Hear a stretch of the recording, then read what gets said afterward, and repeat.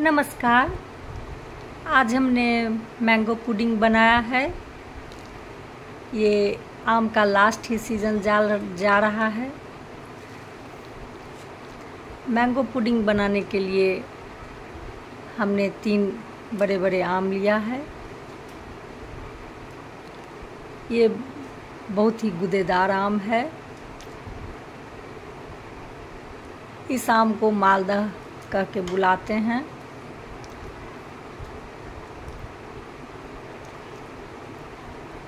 ये बहुत ही मीठा आम होता है।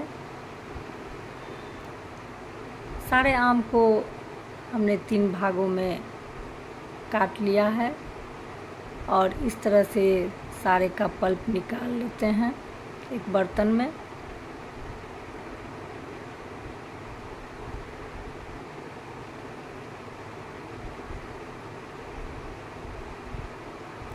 ये आम बहुत ही मीठा होता है।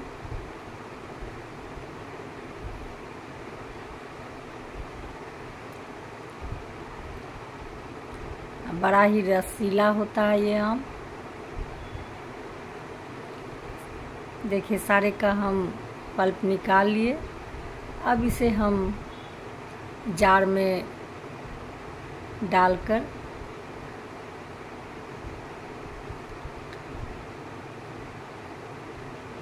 इसमें हम फुल क्रीम वाला एक कप दूध इसमें हम डालते हैं। और आप चाहें तो इसमें चीनी भी डाल सकते हैं। लेकिन हमने चीनी नहीं डाला है, क्योंकि ये मीठा होता है और ज़्यादा चीनी मीठा नहीं पसंद करते हैं हम लोग। अब इसे एक कढ़ाही में डालकर और इसे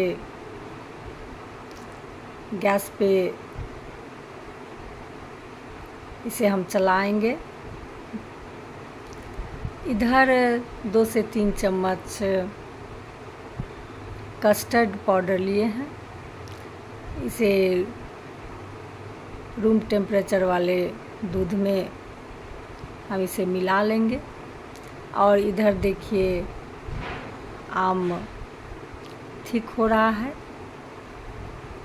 इसमें हम कस्टर्ड पाउडर डाल दिए। अब इसे चलाएँगे।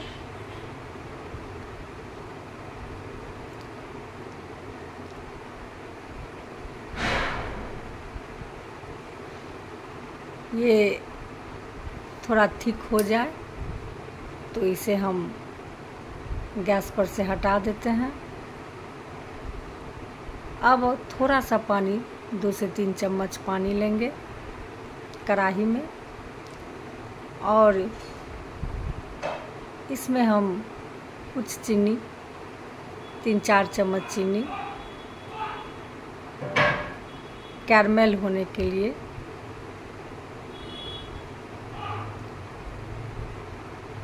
चलाते रहेंगे। और देखिए ये कैरमेल हो रहा है।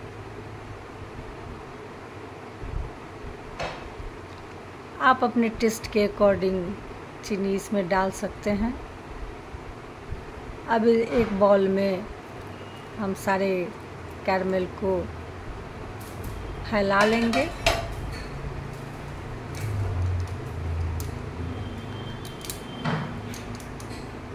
फैला लेने के बाद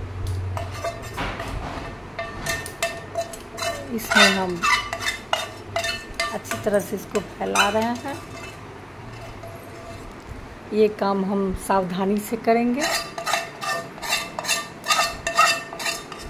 और क्विकली करेंगे, क्योंकि कैरमल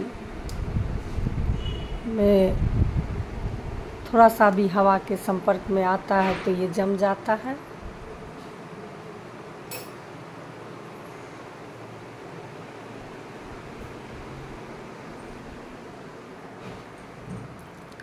अब इसमें हम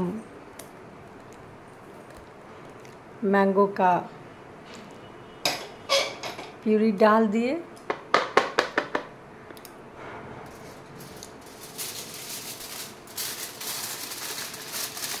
अब इसे हम फ़ाइल से पैक करके इसे फ्रीज में हम डाल देंगे फ्रीज़र में। एक दो घंटे के लिए। नीचा ज़्यादा आइसक्रीम के तरह इसे हार्ड नहीं करना है।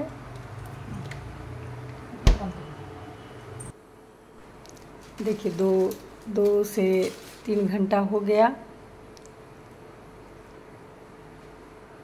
थोड़ा हार्ड हो गया ज़्यादा हार्ड नहीं करना था।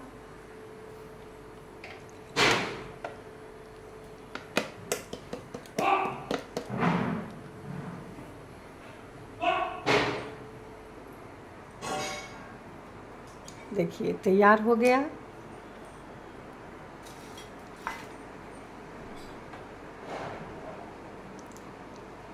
अब इसे हम सर्व करेंगे। ये बहुत ही टेस्टी बनता है और बनाने में भी ज़्यादा झंझट नहीं होती है और क्विकली बन भी जाता है। आप भी बनाइएगा। टेस्ट कीजिएगा और टेस्ट करके कमेंट कीजिएगा लाइक कीजिएगा धन्यवाद।